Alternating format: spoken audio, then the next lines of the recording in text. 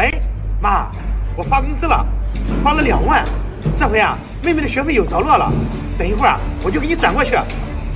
没什么事，我就先挂了。哎，虎子，哎，老板，你刚才说工资发了多少？两万啊。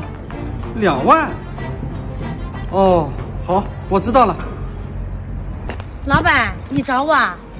江会计啊，虎子的工资你发了多少啊？发了八千，还是你自己签的字，你忘了吗？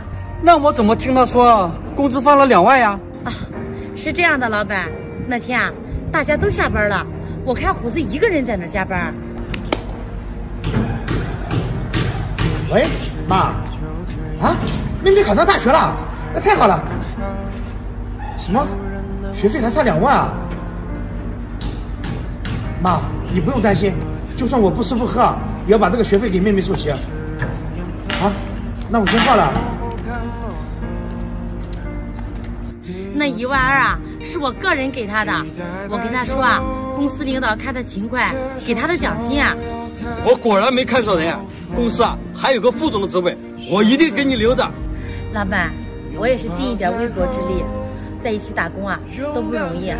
我们就应该互相关心、互相关爱嘛。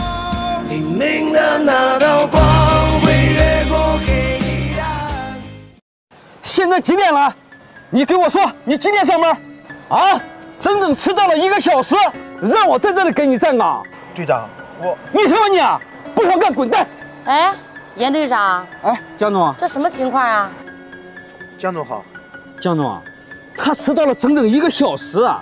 这么冷的天，让我在这里给他站岗啊！行，嗯，我知道了，没什么事啊，你去忙吧，这里交给我了。啊，好的，江总。小张，你今天什么情况？怎么来的这么晚？江总，我妈行动不方便，我给她做好饭才来的。你妈？你妈怎么了？我妈早上下楼的时候不小心摔了一跤，现在腿上还打着石膏呢。啊，是这样啊？那你赶紧下班回去照顾你妈妈吧，江总。那这，你说这儿，这就不用你操心了。你赶紧回去照顾你妈妈吧。啊，好的，谢谢江总。哎，等一下，还有什么事啊，江总？哎，我看你啊，也挺不容易的。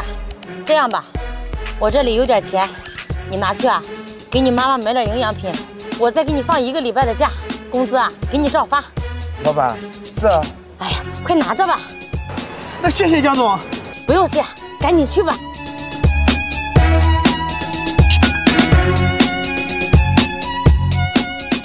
喂，严队长。